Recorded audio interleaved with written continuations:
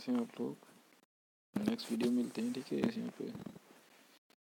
Next क्या मतलब ये बेसिकली हेडिटी एंड एवोल्यूशन के ऊपर है। तो page number one heredity variation genetics यहाँ मेरा मकसद आपको नोट्स प्रोवाइड करना है, ना कि यहाँ पे समझाना है।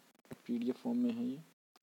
लिंक का लिंक भी मैं आपको डिस्क्रिप्शन में दे दूँगा नेक्स्ट वीडियो में, जब समझाऊँगा इसे अच्छे से। Page number one and page number two sexually productive basic terms used in inheritance studies page number 4 then structure of dna page number 5 the rules for the inheritance of trait mendel contribution then page number 7 mendel experimental plan Pisum sativum contrasting character पे काम किया था और क्यों select किया था detail in next video and Mendel experimental technique page number 9 then page number 10 this is uh, basically the hybrid cross ratio.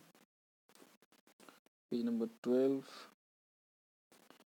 then law of segregation. Page number 13 page how do trade get expressed? And how do protein control the characteristic of an organism? Page number 14 then contribution of genetic material by both the parents. Page number 15 how do germ cell receive a single set of genes from the normal two set two set and then page number 16 sex determination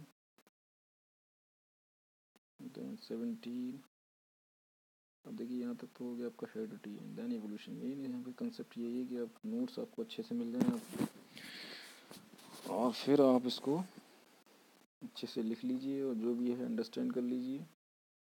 Page number eighteen then page number nineteen then page number twenty and then page number twenty one में देखिए theories of origin of life है यहाँ पे। And then then chemical origin of life twenty two page number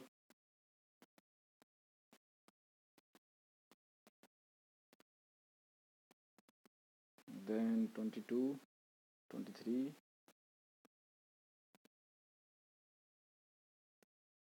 then 24 and then 24 and 25 how do evolution occur. Then acquired and inherited trait. Then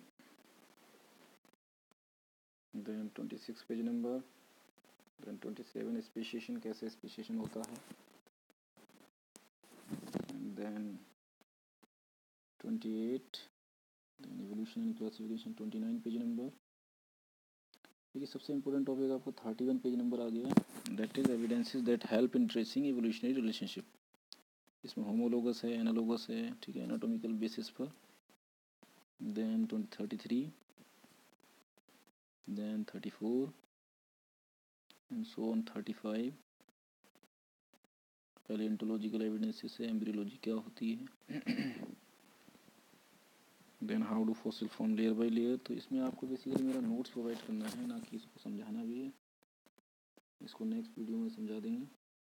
How do we know the age of fossil इसमें देखिए relative method है carbon dating method है, बहुत important है।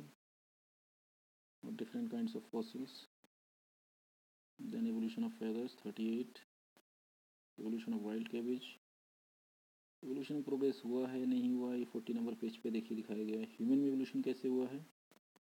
Human evolution को पढ़ने वालों को एंथ्रोपोलॉजिस्ट कहते हैं। Forty number page forty one sorry ये फोर्टी टू होगा and all this last page is about how the dryopithecus make a homo sapien sapien means हमारे एंसेस्टर डायफेथिकस ही हैं। तो it is all all about the notes अगली video में, ठीक है, हम इसको अच्छे से आप यहाँ पे नोट्स बनाइए पहले समझिए इसको। समझा मैं नेक्स्ट वीडियो में दूँगा, अभी आपको एक कंप्लीट नोट्स हैं। तो मिलते हैं नेक्स्ट वीडियो में सब्सक्राइब माई चैनल